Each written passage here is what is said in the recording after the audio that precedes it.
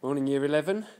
Okay, how does length of wire affect resistance? Here's your setup for today's practical. You've got a huge long bit of wood there. Can you see that with a wire attached to it? And the, the metal on the wire is called Constantan.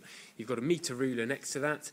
We've then got two cells, your voltmeter, V for voltmeter, your ammeter, and a switch.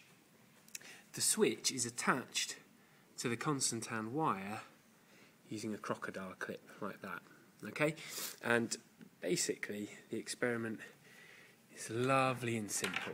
The first thing we should do is take a potential difference reading so that we can find out what the voltage being given to the circuit is by our cells. So you can see we've got 1.0, oh well, let's say we've got 1 volt going into our circuit there. And you want to make sure that you take note of that. So you record that in your table.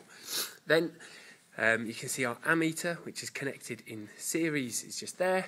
And all we do is we move our crocodile clip so that it is, let's say, 10 centimetres from the other connector. So we've got 10 centimetres worth of Constantan there. We press our switch and we take a current reading, which is 1. What's that, 1.37, we'll say. Okay, and you record that in your results table. We then take the crocodile clip, move it to 20 centimetres. And again, press our switch, take a reading, record it, and again. And I'll go up in 10 centimetres. I would say to the end of the constant Constantan, but you might be limited by how far your red lead stretches.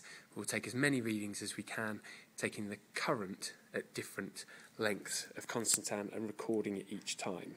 All right, off you go.